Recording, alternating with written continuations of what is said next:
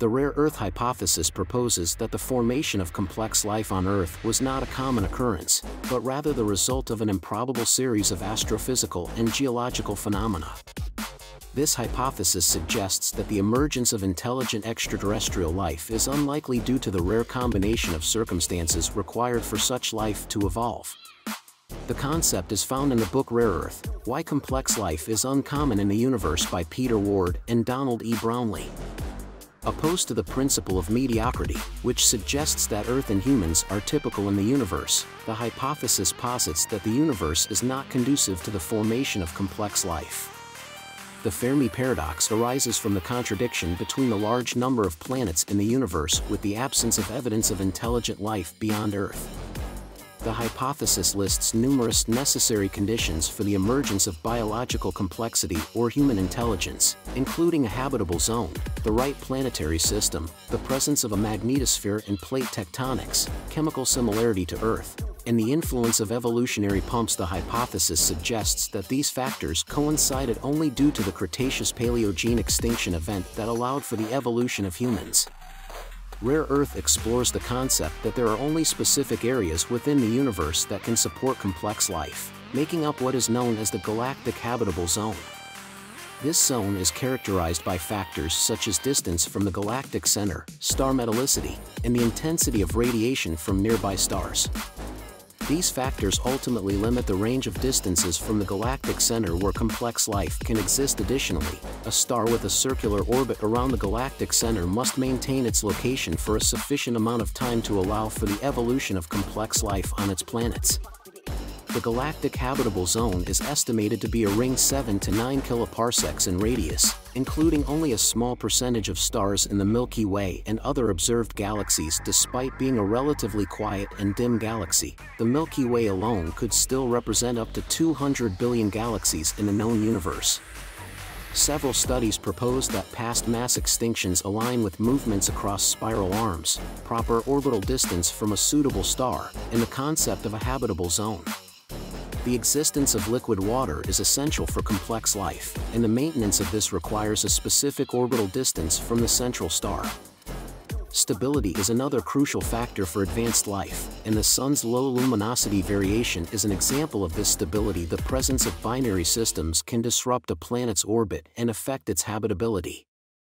The habitable zone shifts as a star's lifespan progresses and disappears when a star transforms into a white dwarf rocky planets within the habitable zone can benefit from the greenhouse effect, and only stars of a specific type are hospitable to evolved metazoan life. Small red dwarf stars and oversized stars are less likely to support life due to the tidal locking effect and increased risk of solar flares. The energy output of a star must be constant to sustain life. A sudden variation in energy output could freeze or evaporate water present on planets, affecting their chances of supporting life.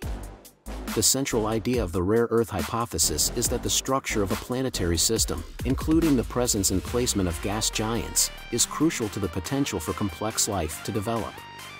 The proponents of this hypothesis contend that a system with small, rocky inner planets and outer gas giants with strong gravitational pulls provides necessary protection from catastrophic asteroid collisions however, observations of exoplanets reveal that systems like our solar system are rare, with most systems featuring super-Earths close to their star.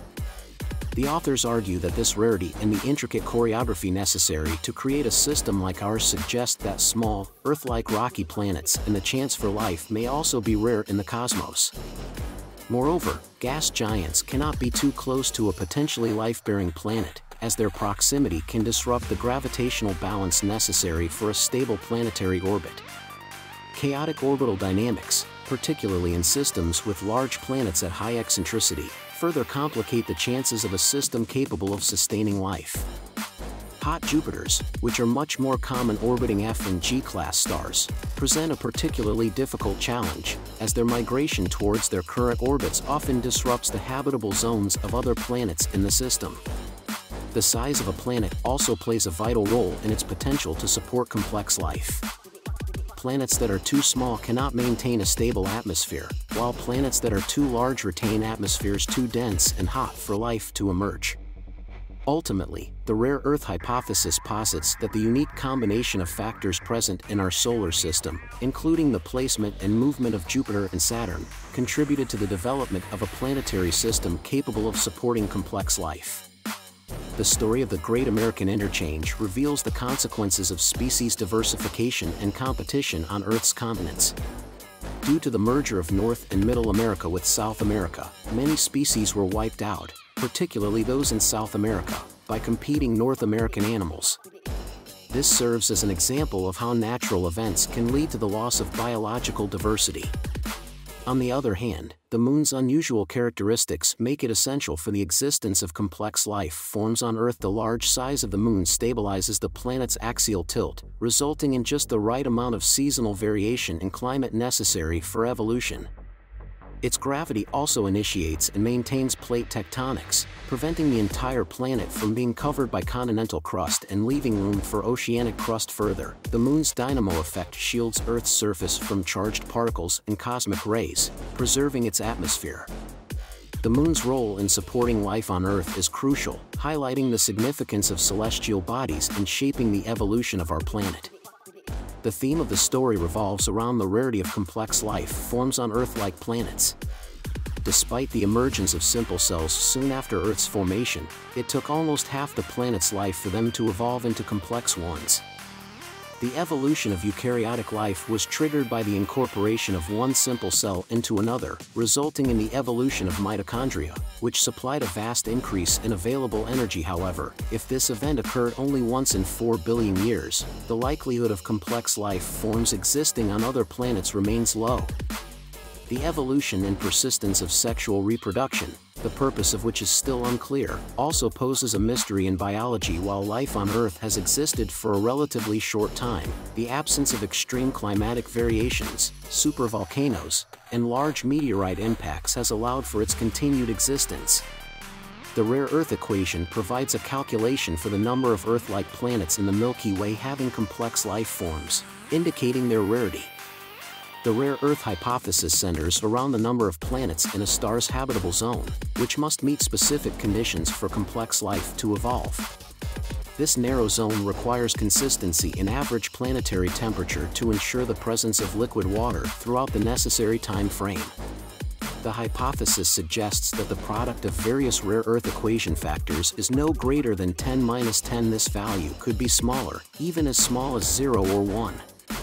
The factors include the fraction of stars in the galactic habitable zone, the fraction of planets in the Milky Way with rocks rather than gases, the prevalence of microbial and complex life, the lifespan of a planet with complex life, the presence of a large moon, and more.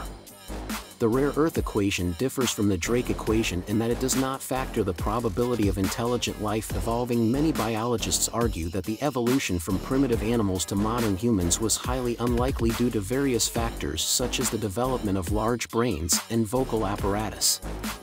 These factors ultimately enable humans dexterous manipulations and language abilities, which allow them to interact cooperatively and acquire a culture. Various experts across various fields have expressed their belief in the rare Earth hypothesis, which suggests that the emergence of intelligent life on Earth is a result of a series of improbable events and coincidences. Stuart Ross Taylor, a solar system specialist, strongly advocates for the hypothesis while Stephen Webb, a physicist, investigates and rejects potential solutions for the Fermi paradox, with the rare Earth hypothesis remaining as a plausible explanation. Other proponents of the hypothesis include paleontologist Simon Conway Morris, cosmologists John D. Barrow and Frank J. Tipler, computer pioneer Ray Kurzweil, science writer John Gribbin, astrophysicist Guillermo Gonzalez, and geochemistry and volcanology professor Mark J. Defant, who argues that intelligent life may only exist on Earth due to an overwhelming amount of coincidental factors that have occurred throughout the universe's history.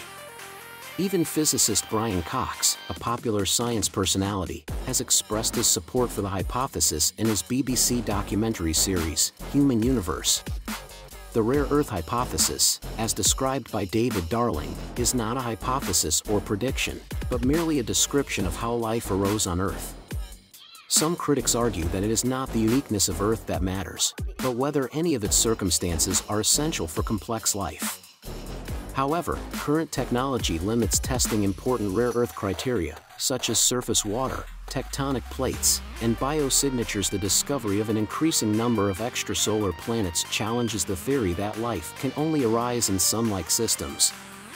Some exobiologists suggest that stars outside the F7K1 range may give rise to life under the right circumstances, which is a central point of contention to the theory the requirement for a Jovian planet as a protector has also been challenged, affecting the number of proposed extinction events. In contrast, others argue that rocky planets orbiting within habitable zones may not be rare, as estimates suggest that about one-fifth of Sun-like stars and orange dwarfs are expected to have an Earth-sized or super-Earth-sized planet close to an Earth-like orbit. These findings challenge the restrictive nature of the rare Earth equation factors. Ward and Brownlee argue that plate tectonics are a crucial factor for the evolution of complex life on Earth, based on the generation of biogeochemical cycles they predicted that such geological features would not be found beyond Earth, but recent evidence suggests similar activity elsewhere, such as on Pluto, Mars, Europa, Ganymede, and possibly Venus. While there is no scientific consensus on the evolution of plate tectonics on Earth, recent studies suggest that it may be an episodic planetary phenomenon additionally. The idea that free oxygen is rare and dependent on plate tectonics has been challenged by more recent discoveries. These findings suggest that plate tectonics and free oxygen may not be as unique or necessary for the evolution of multicellular life as previously thought.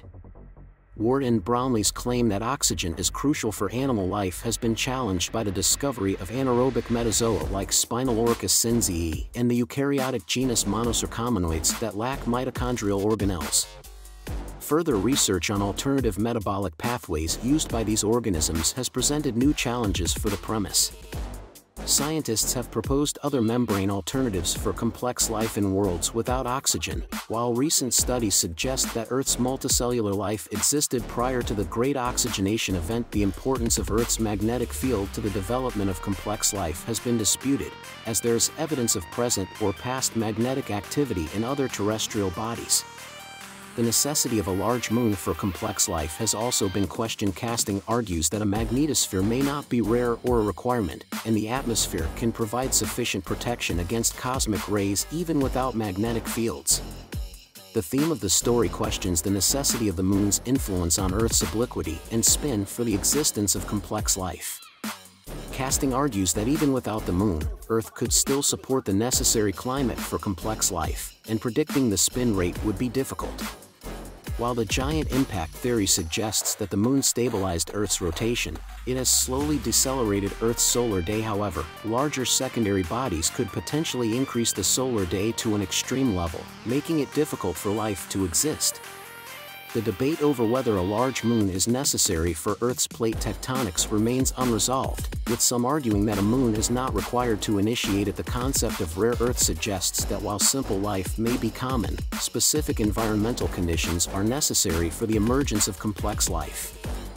Some argue that these conditions could exist on moons of gas giants, while others dispute this due to radiation and lack of environmental stresses the possibilities for alternative biochemistries for alien life and the existence of complex life in subsurface habitats are also topics of debate. The theme of the story revolves around the significance of ancient circumvental ecosystems that host complex life on Earth the remarkable example of Riftia pachyptila that thrives self-sufficiently independent of the surface biosphere is a testimony to the remarkable diversity and resilience of these ecosystems.